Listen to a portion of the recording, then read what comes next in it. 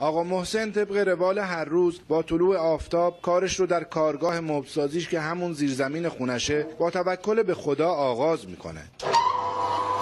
آقا محسن چهل ساله اهل روستای وهناباده و کار ساخت مبل رو بلافاصله بعد از سربازیش آغاز کرده. حدود 20 سال است که تو کار مبل هستم تولید کننده کلاف هستم. ساخت مبل در وهناباد یک شغل خانوادگیه. پارچه رو می‌بریم خونه برش می‌زنن خیاطش انجام میدن.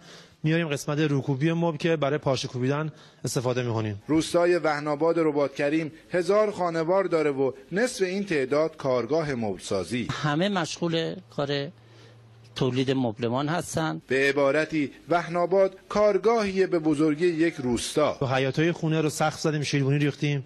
مشغول به کار شدیم. هم کارگاه داریم هم رنگکاری داریم هم منبت کاری داریم. به اضافه نمایش در روز 7 الی 8 از تولید مبل داریم. در روستای وهناباد نه تنها هیچ آدم بیکاری وجود نداره بلکه از نقاط دور و نزدیک هم برای کار به اینجا اومدن. اهل کجایی؟